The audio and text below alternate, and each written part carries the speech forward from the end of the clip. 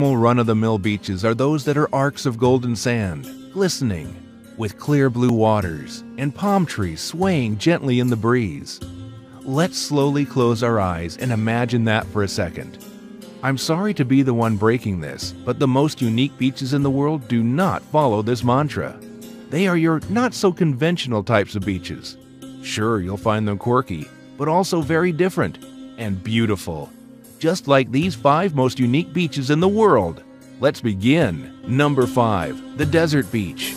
If you thought deserts were only found in arid areas, then you have certainly not met the beach at Lençóis Maranhenses National Park in Brazil.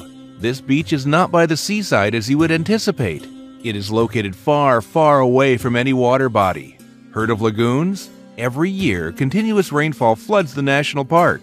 This results in beautiful lagoons fringed with perfect white sands. If you plan to visit the park, I would suggest May to September. You'll have the time of your life.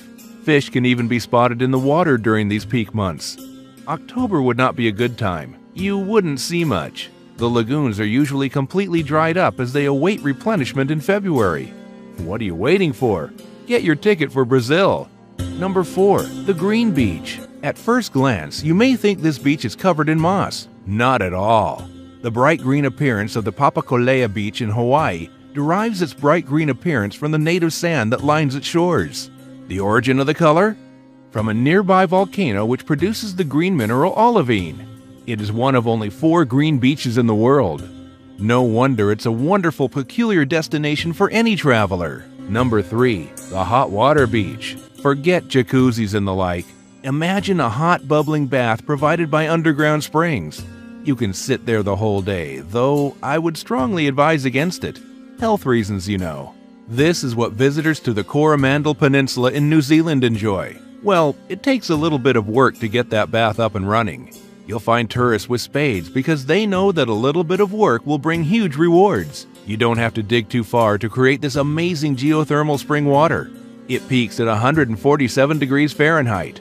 Nowhere on Earth does anything come close to this. Number 2. The Glowing Beach. Imagine a starry night sky after dark. Now imagine that on oceanfront. The Maldivian gives this spectacular view to its visitors. It is certainly fit for fairy tale royalty. It is an incredible sight that is attributed to phytoplankton, which glows when disturbed. Question is, who's bugging these planktons? Whoever is doing so, keep at it.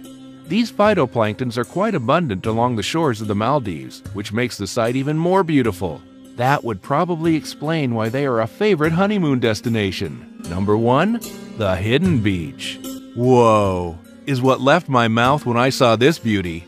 Unless you know it's there, you have to be high up to spot Playa de Amor on the Marieta Islands in Mexico.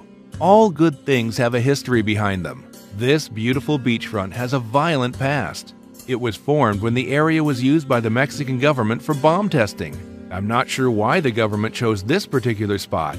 Anyway, these tests led to a huge hole that was blasted into the sea cliff.